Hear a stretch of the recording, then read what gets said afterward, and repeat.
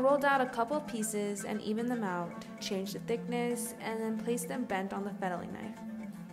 This all started out pretty good too. But then I saw buildings lock, people leave, and realizing I was out of time.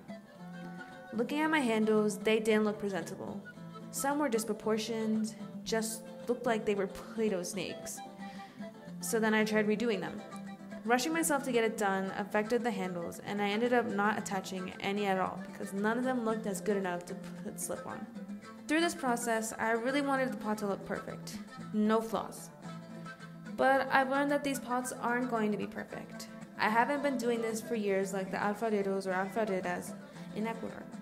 So when I made that first pot and just seeing me be able to make one and it be my own unique piece, it was special to me. It was my own pot. And I think that's what I want to highlight in this video.